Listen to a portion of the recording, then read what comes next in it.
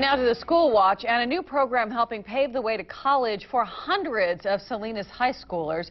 We get the details from Action News reporter Felix Cortez. He's live at Hartnell College with our story tonight.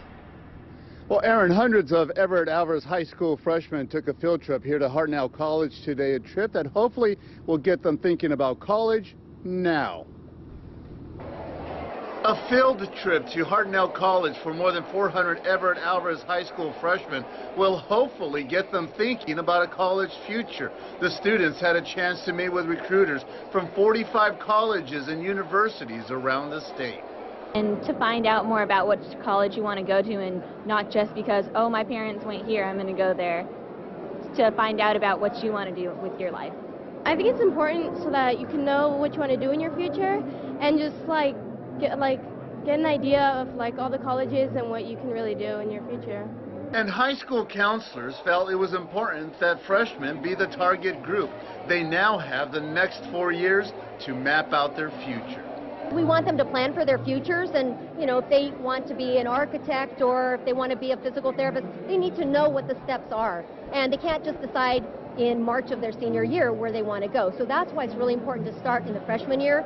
Students had a chance to ask lots of questions about college life, financial aid majors, and getting into a university. It was an eye-opener for Fernando Barron, who hopes to be the first in his family to go to college.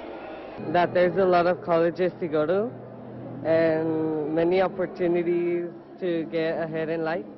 If I can give any advice to any college students or who's aspiring to go to college, persistence, persistence. Now, today's college fair was dedicated for Alvarez students only, at least this morning, but another college fair, College Night, kicked off a couple of minutes ago, and that is open to all local high schoolers and their parents. It's going on from 6 o'clock to 8 o'clock tonight here at the Student Center at Hartnell College. Aaron, Dan. All right, Felix, thank you. This is the second year Alvarez High School has taken part in the college fair.